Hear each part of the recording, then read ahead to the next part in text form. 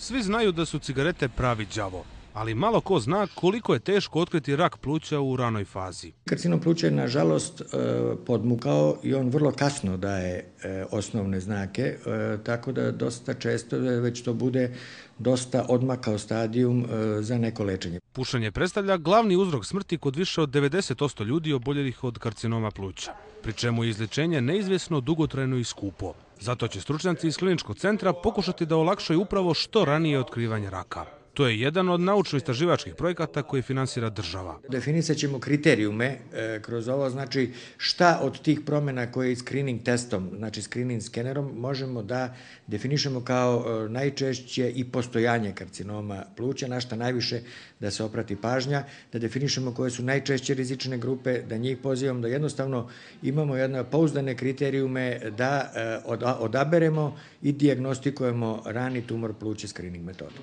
Građani poručuju da su svjesni rizika i dodaju da je teško prekinuti pušenje. Razmislim još neki dan da ja ću da ostavim, pošto imam velike problema sa cigarom. Svuda puše, zakona nema. Mislim da je to izuzetno teško.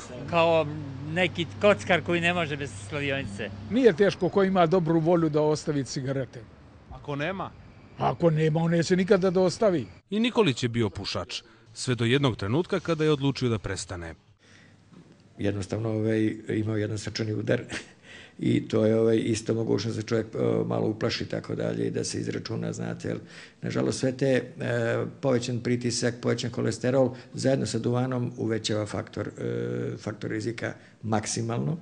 Međutim, ovaj, to sve ne boli i čovjek, bez obzira koliko je obrazovan se, ovaj, tek kad ga nešto udari po glavi, kako se to u narodu kaže, se opameti, ako se opameti. I zato se treba opametiti, jer brojke djeluju zastrašujuće. Prema nekim prognozama na globalnom nivou, za 15 godina od pušanja će godišnje umirati čak 10 miliona ljudi.